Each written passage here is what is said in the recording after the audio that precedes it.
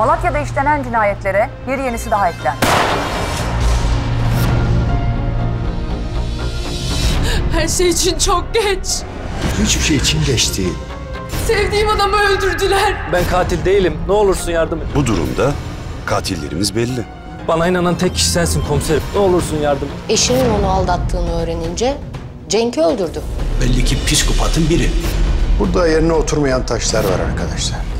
Peki Hakan Kara onu neden öldürdü?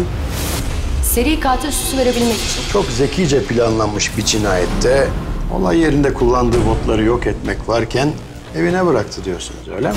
Her iki cinayette de olay yerinde bulunan ve Fırat Yavuz'a ait olduğu tespit edilen delilleri göz önünde bulundurarak dosyanın kapanması kararını verdi. Hayırdır? Bu kez de yanılmadığımı biliyorum. Ben bitti demeden bitmez.